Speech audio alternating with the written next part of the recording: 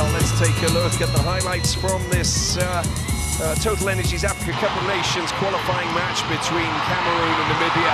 This is a good opportunity here for Bryan Mbeumo, but he couldn't get the ball right across to Ganago and it was dealt with quite uh, comfortably. Watched on by the players of Cameroon, dispossessed in the 26th minute. Just look at this, beautifully done by Tjiueza, and then passed forward into the path of this man here, Peter Shalulile. Just look at that.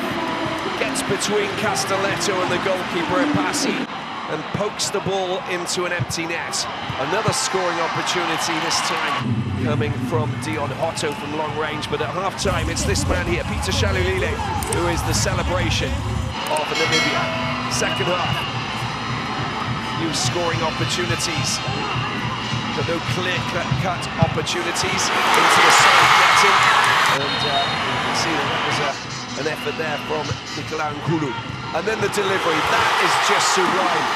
He just came on, Pierre Kunde delivered the perfect free kick into the path of that man, Olivier Kemen.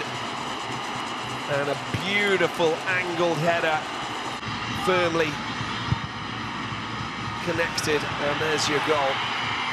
Buenabuo putting the ball into the path of Ganago. Couldn't beat the goalkeeper, Kazapua. A couple of opportunities in the second half here, late in the game. This effort coming around nicely, but not nicely enough for Mbondi. Good work by Zambo down towards the byline. A good cross coming over there, and that should have been in the back of the net.